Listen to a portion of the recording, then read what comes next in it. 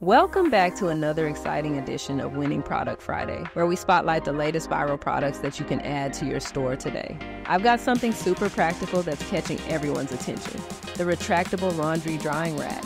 This sleek little space saver isn't just stylish, it's flying off the shelves. Let's dive into why. First off, this drying rack has already snagged 389 orders, and the buzz isn't slowing down. Why?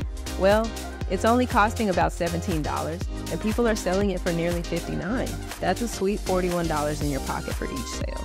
Now that is what we call a smart pick. So why is it trending? Well, it's all about versatility and saving space. You know how everyone's looking to make the most of small apartments or tiny homes? This rack fits right into that lifestyle. Whether you got a cramped laundry room or just want something that looks chic when not in use, this rack retracts and extends like a dream. It's perfect for city living, minimalist, and even those eco conscious shoppers who want to reduce their dryer use. So, why should you add this to your dropshipping store? Well, it's trending across a wide audience it's solving a real problem by helping people save space, and it's eco friendly. All right, let's talk about getting this product into your store and into the hands of your customers. Use our Supplier Finder feature to locate reliable suppliers with top notch reviews and ratings. Just click that Supplier Finder button, and you'll see a pop up that makes importing the product to your store a breeze with the Add to Store button. If you're enjoying the video so far, please hit that like button and don't forget to subscribe to get notified of our next video. It really helps us keep putting videos like this out for you. Haven't launched your online store yet? No worries.